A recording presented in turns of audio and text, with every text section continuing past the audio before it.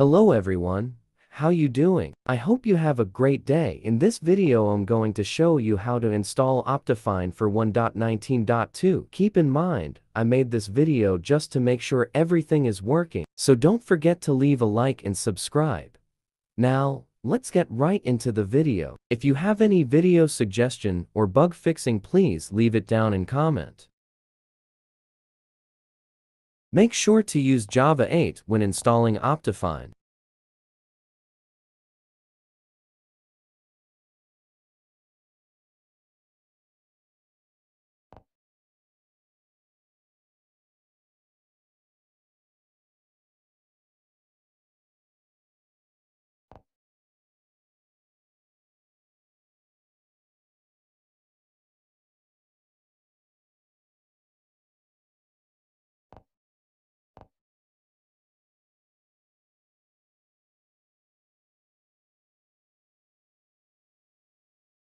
Also do this to prevent the game from crashing if you use Java 8 for other version.